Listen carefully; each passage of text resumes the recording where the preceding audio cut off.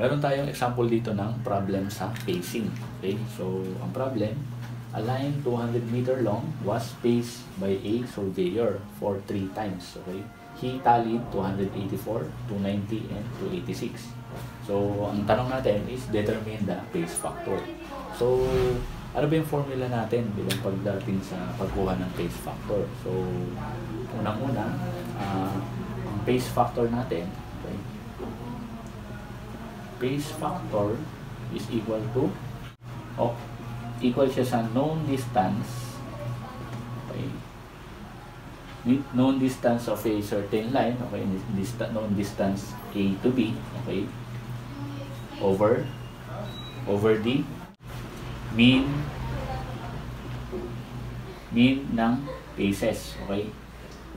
From A to B. Okay? Mean of paces from A to B. Okay, so sa problem natin, meron tayong uh, ang given na line which is 200 meter, di ba?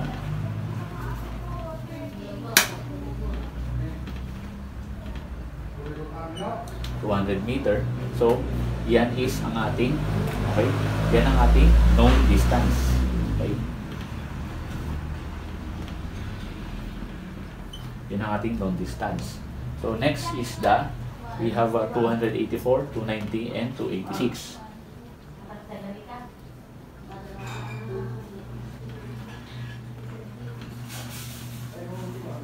Okay? Ito naman, yung 284, 290, and 286, ito yung ating mga paces. Okay? Paces. So, meron na tayong uh, meron na tayong mga given para ma-solve natin yung ating pace factor. So, sa-substitute natin siya. Okay? So, equal yan sa so ang pace factor natin is equal to known distance which is 200 meter. Okay? Okay, so over mean, mean of paces. So, ang mean natin, di ba? Uh, the total, okay? total of the bases all over kung ilan sila. Okay? So, tatlo sila. So, divide 3. So, 284 plus 290 plus 286 all over 3. Diba? So, equal siya sa 0.697. Okay? 0.698 meter per pace. So, yun ang ating pace factor. Okay. So, nakuha na natin yung ating pace factor which is equal to 0.6 0.698 meter per pace. Next problem natin is uh, meron tayo uh, a surveyor has a pace factor of 0.7714 meter per pace. Okay? Ang tanong natin, okay, a recounts 63 paces while walking from point A to point B. What is the distance between A and B? So, kung papansinin natin yung problem, meron tayo, meron tayong given na uh, pace factor. Okay, pace factor ng surveyor. So, meron tayong given na uh, 0.714 meter per pace. Okay, yung pace factor natin. Okay. And then, next, uh, meron siyang uh, number of paces, okay? 63 paces. So, ito yung number of paces niya. So, 63 paces. Number of paces. Okay? And then, next, we will find the what is the distance between A and B. So, kung tinanong niya what is the distance between A and B, so ang ihahanapin natin is ang ating pace distance. Okay? Ang formula for pace distance. Okay? Formula for pace distance is equal to uh, pace factor. Diba? Times times number of paces. Okay? Times number of paces. So, sa-substitute natin yung uh, given. So, pace factor is equal to 0.714 meter per pace. Okay? Times number of paces natin is 63 paces. Okay? So, kukunin natin yung solve natin siya. Okay? Meter per phase times paces. So, cancel na yung paces natin. So, 0.714 times 63 which is equal to 44.98 meters. Ito na ang ating base distance. Okay? Ang distance from between A and B. Distance between A B. Okay? Yan na natin yung base distance which is 44.98. So, yan na yan. Yan na letter A. So, punta naman tayo sa letter B. Okay? Sa letter B tayo. Letter B is how many paces should the same, okay? The same surveyor count to lay out a line approximately 100 meter long. So, anong given natin ulit yan? So, sabi niya, the same surveyor, so, ang pace factor natin is 0.714 meter per pace ulit.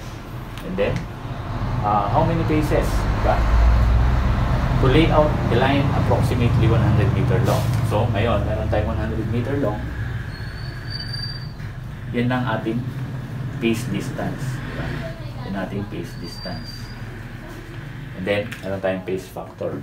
So, ang hinahanap natin ngayon is number of paces naman. How many paces? So, balik tayo sa formula na naman, which is pace distance is equal to pace factor times number of paces. Diba? So, ang pace distance natin is 100 meter. Ang pace factor natin is 0.714 meter per pace times ang uh, number of pace natin is yun yung hinahanap natin. Number of pace natin. So, equate natin yung formula. So, solve natin.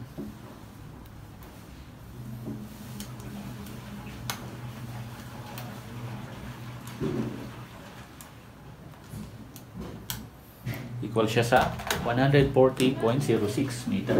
So, number of pace natin is equal to 140.05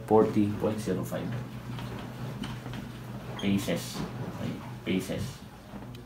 Ang kailangan natin para makagawa tayo ng approximately 100 meter long na uh, distance is ng 140 paces. Problem number 3. Okay. A line 100 meter long was paced by a surveyor for 4 times with the following data 142, 145, 145.5, and 146. Okay. And another line was paced for 4 times again with the following results.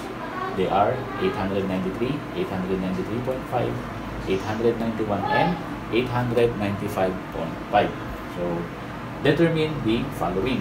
Okay, unang-una, pace factor, mean of paces of the new line, and distance of the new line. So, unahin natin yung letter A. We have letter A, which is pace factor. Ang pace, pace factor, okay, ang pace factor, ang pace factor is equal to uh, known distance, okay, known distance over mean, di ba? Mean of paces, di ba? Mean, mean of paces. So, uh, pace factor is equal to known distance natin, okay? Ang given natin, ang may distance tayo na 100 meters. Okay, so 100 meters. Okay, over ang mean of paces natin, di ba? Mean, so yung line natin is na, na niya na 142. Okay. 142 plus 145 plus 145.5 plus 146. Okay? All over. Okay? So, makuha natin yung pace factor natin. Okay? Mean is over, di ba? 4 sila. Over 4. Ang pace factor natin is 0.69. Meter per pace. Okay? So, meron na tayong pace factor na 0.69 meter per pace. So, number 2 naman. So, number 2, determine the mean of paces of the new line. So, sabi niya, mean.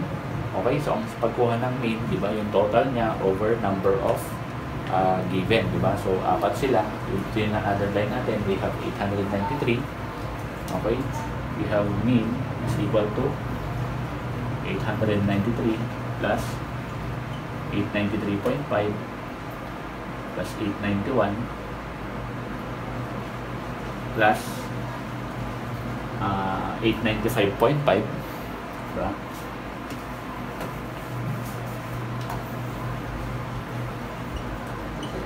Over 4 so ang mean natin is equal to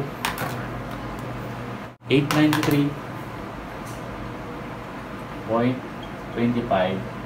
paces. Okay? So yun ang uh, mean natin ng second line number of paces. Okay? So sa letter C naman tayo letter C distance of the new line. So pag sinabing distance of the new line we are looking for the uh, pace distance okay? We are looking for the pace distance. Anong formula sa pace distance is equal to pace factor times number of paces di ba? Okay so equal siya sa distance of the new line di ba? So number of paces natin di ba? So ang pace factor natin di ba? Ang pace factor natin is uh, 0.69 di ba? 0.69 di ba?